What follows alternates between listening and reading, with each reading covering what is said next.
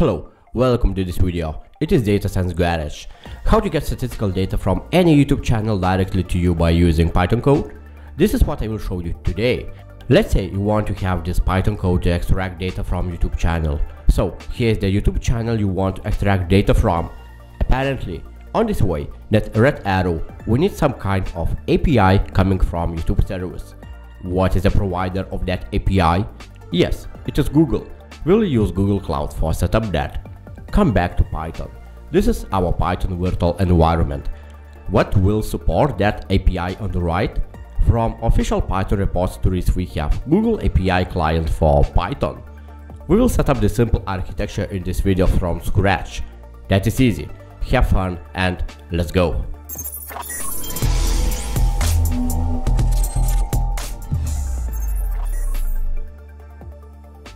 Alright, we are on Google Cloud Console page and the first thing what we need to do here is to create a new project.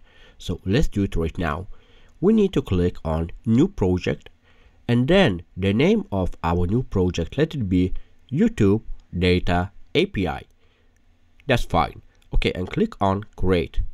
You can see that our new project is being initializing on the notification tab right here and then you can just select our new project by clicking on select project. And you can see that our project is being selected in this list.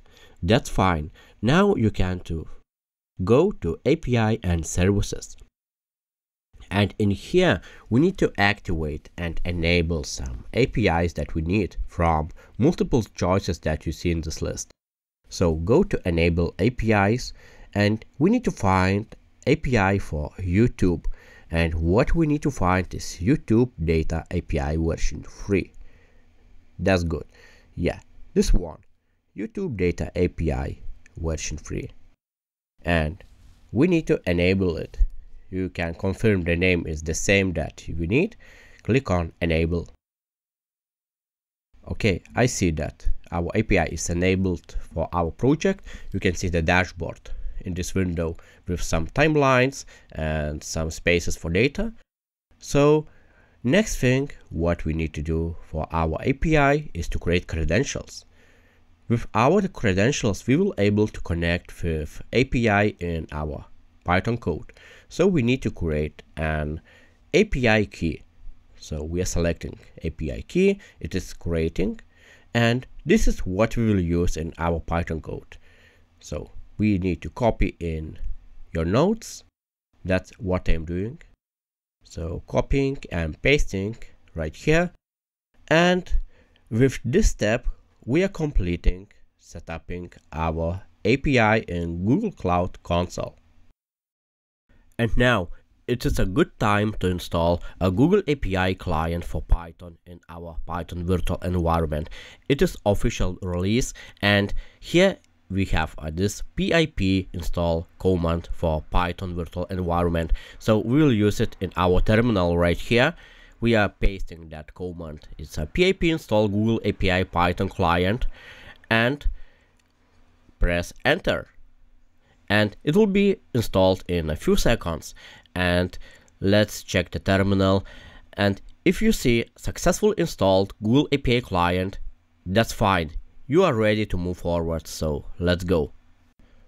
Also, I want to show you two documentation resources that you can use daily in your real projects. The first one is GitHub repo and in here you can find many many Python samples that shows you what exactly codes should be used in specific situations, depends on what you need to develop. Another one is Google developers page and We'll use this in this tutorial because it's very powerful, very readable and let's go in reference and then select channels because we need to get extracted data from channels. And we will use list function. And list function requires some parameters. And the part is what we exactly need to extract. We need to extract statistical data. So statistics is what we need to use in part parameter Next one, how we can identify YouTube channel. And this is a filters.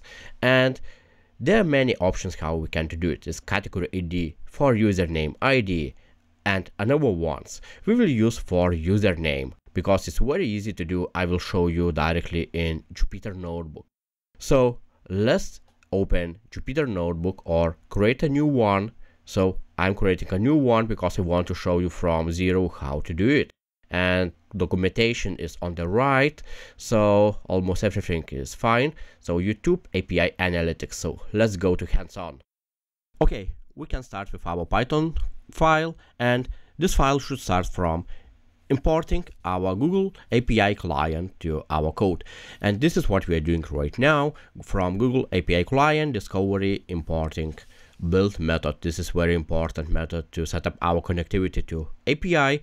And what I need to mention right now is a Python version because this Google API client support Python 3.7 or higher version. So if you have 3.7 or higher Python version, that's fine. We can move forward. So, okay. And next step is to specify our API key and this is API key and API key is that one we got from Google Cloud Console and copied in our notes. This is mine and I'm using it right here. Okay, I got my API key and by using this API key, I can to set up the connectivity to um, YouTube API. And this is a YouTube variable and I'm using a build method. And in this method, I need to specify some critical parameters. The first one is a service name, it's a YouTube. Next one is a version name of API, it's a version free. And the last one is a API key. And API key is comes to developer key. So for developer key, I'm using the API key that I got from Google Cloud Console. So I'm specifying it right here. Okay, that's fine. So we made a very big step and now we can to make a request to the YouTube API. Okay, and this is a request uh, variable in our Python code, so we can start to do it. We use a YouTube variable from here, and from this YouTube variable, we can input some uh, parameters from documentations. So let's come to top, and this is a channel so we use a channels method. Let's write it here, channels, uh, brackets. Okay, and from the channels, we can use a list functionality. So from channels, we are using a list functionality. And inside list, remember, we can specify parameters that we will use to extract the data. Okay, remember, this is required parameter and we have a part part is right here and we use uh, statistical data. We need statistics from part. So let's specify it right here. Part equals statistics. Next parameter that we will use in the list functionality is filter parameter. How can to identify our channel? So we use a for username because it's very very easy. Okay for username yes equal and okay i will show you example. Let's go to youtube. Okay and the first channel that we want to test is bbc as you can see we come to the top of this line. We use a url address and this is a username. Okay and let's put it right here in our code. For username equal to bbc news. And if you want to get the answer from request, we need to execute this request. So response equal to request and we need to execute it right now. Okay. So it's executed. So we can now to print our response and let's go. It is uh, many statistical information and I'm interested in statistic field and we have a view counts, we have a subscriber counts, we have a hidden subscriber counts and video counts. That's a statistical part that you can to use in your analytic task. Okay, another channel that I want to test is CNN. Is the same approach how you can use a username so I can change it right here is uh, CNN and the statistical data is differs. You can compare, you can do whatever you want. It's very easy to do. So this is our response. And then I want to extract the specific field of the response. So I can to specify exactly item, exactly a part from a response I want to use in my task.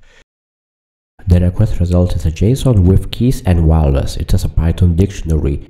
You can use different ways to use, store, analyze and do any data manipulations. For example, I want to use a statistical field.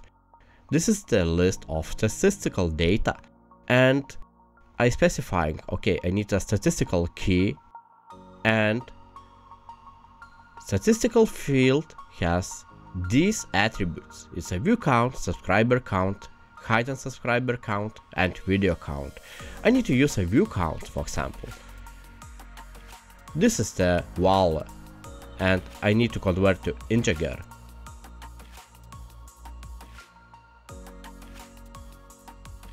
So come back to some documentation and to Google Cloud Console and uh, we made a two request to this API and we can check it in Google Cloud Console how it's working and you, you can monitor how your API is working in your backend.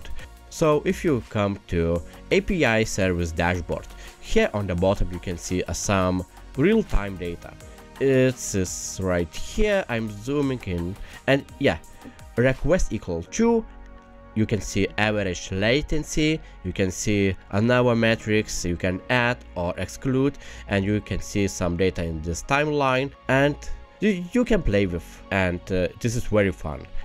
That's all in this tutorial. I wanted to show how to use youtube api in your python code. I hope that was easy for you and in the next videos we can improve our code if you want. Just drop a comment and See you on the next video.